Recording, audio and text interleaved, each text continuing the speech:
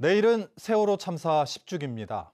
아, 제주에도 참사에서 겨우 살아난 생존자들이 살고 있는데요.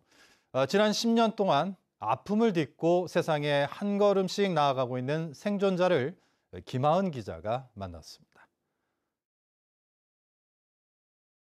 10년 전 아내와 함께 다른 지방으로 갔다 제주로 돌아오는 세월호에 탔던 60대 남성. 하지만 끝내 아내는 함께 제주로 돌아오지 못했습니다.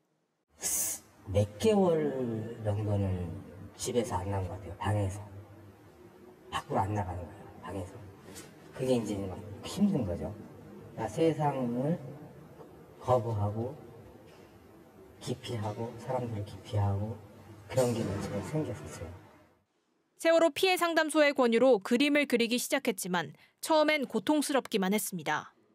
그림 그리면서도 나는 어디 있었고 뭐 어디 있었고 지금은 이제 어디 있고 하나도 안 잊어버리죠. 그 순간.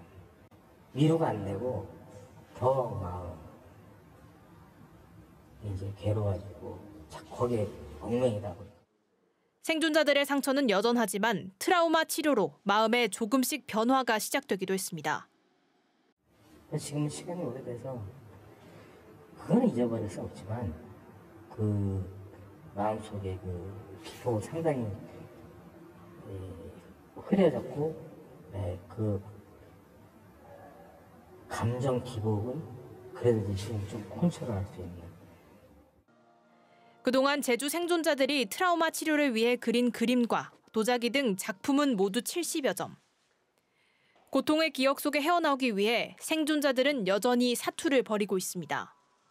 세월호 이제와 같은 심한 트라우마를 겪은 경우에는 어, 만성화해서 장기적으로 치료를 계속 해야 되는 경우들이 대부분입니다. 이분들에 대해서는 아주 지속적으로 심리 지원과 약물 치료와 어, 이런 정신과적 어, 치료들이 계속해서 필요한 상태입니다.